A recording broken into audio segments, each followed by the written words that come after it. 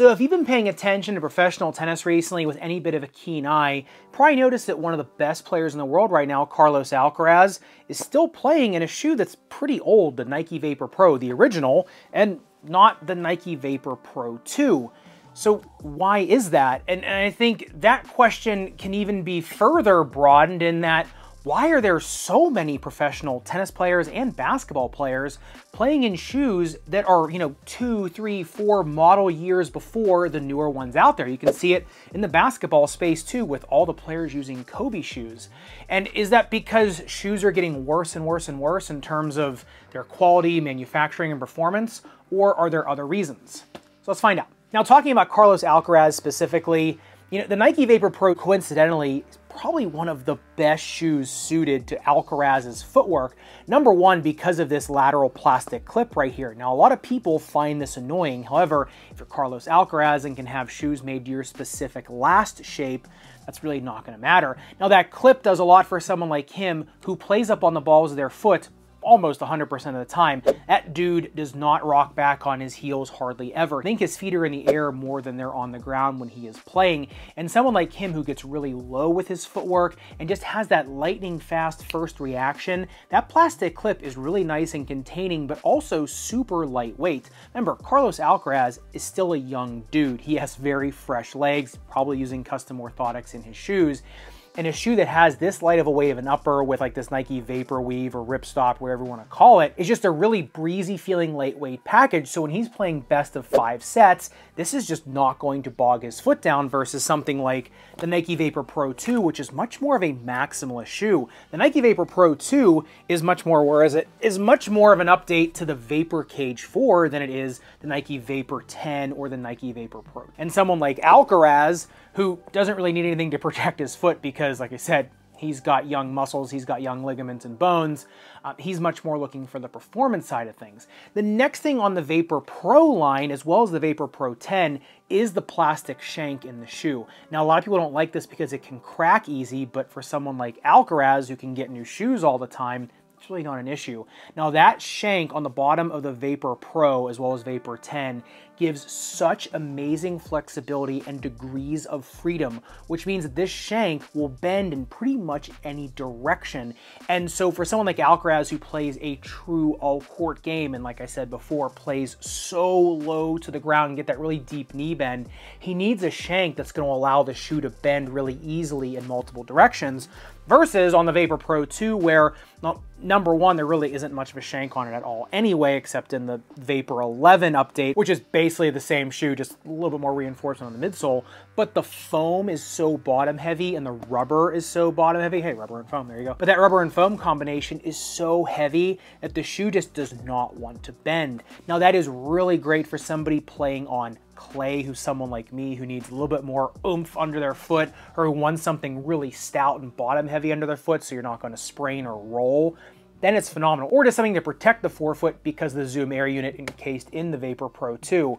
But like I said, when you're someone like Alcaraz, you just don't need it. You just much more want that lightweight, breezy feeling and something that's going to give you all that flexibility. And that's why Alcaraz, at least to me, is in that shoe. But I think the, the bigger question is, is why are so many pros playing with older shoes? And that question can be answered pretty easily just by looking at the Vapor Pro versus its predecessor, the Vapor 10.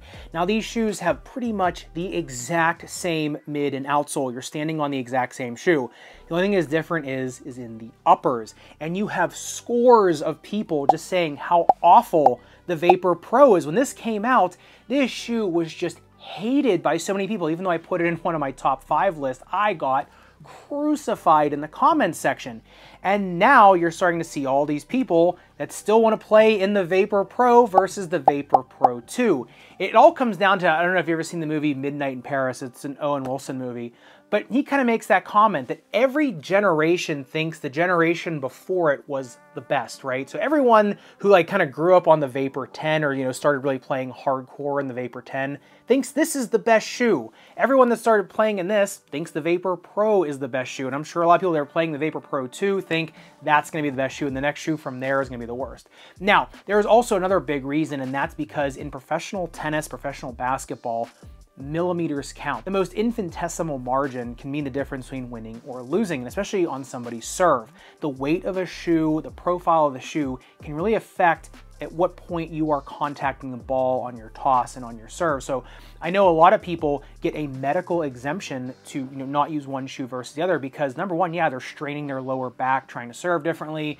The, the shoe feels differently. Their lower back can start to hurt when they're going to, between shoes. And speaking of medical exemptions, if you are someone who has had lumps, bumps, bruises, just issues with your feet, ankle, lower leg, you're trying to get back on court and just have not been able to get a good answer because you've not been able to find someone who lives and breathes this community like you and I do. I do offer one-on-one consulting in the description below. There's a link to that down there. We can go one-on-one, -on -one, try to figure out something that is best for you and your game. All right, back to the conversation. But number two, their game just gets affected because if it's either superstition, if it's just a grooved stroke, or just something that you're used to, you don't want to give it up. Belinda Bencic was using an old pair of Nikes up until she switched to Asics. Jannik Sinner is still playing in the Zoom Zero, even though, I, I mean, the Zoom Zero is okay. I mean, it's nothing earth-shattering, but he grew up on it. He developed his game on it, and that's the shoe he wants to use, and he's probably not going to switch until he finds something is very comparable to that, or he has a long enough time to break in or get used to a new shoe. So I see all these new basketball shoes come out in the off season or toward the tail end of a season.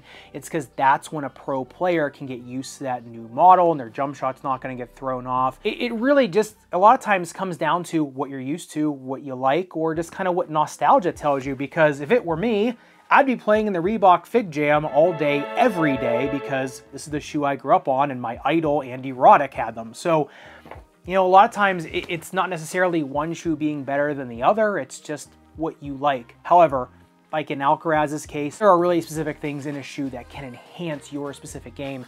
And that's why it is the best to find a shoe that really gels with you, not necessarily just one that your favorite player wears or just one you think looks cool because chances are if you're going that route to buy a shoe, there's something else out there that is going to fit your game better.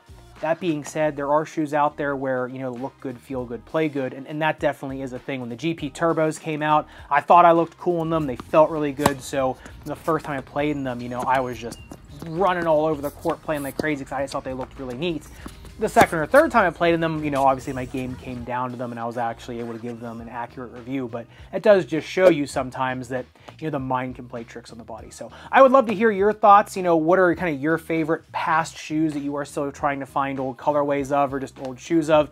I know I saw one guy at the Western and Southern Open say he was trying to find old SoleCourt boosts because that's just what fit his game the best. And, you know, I kind of agree with that because those are still shoes that I still look for too. I'm coming after you on the resale shops.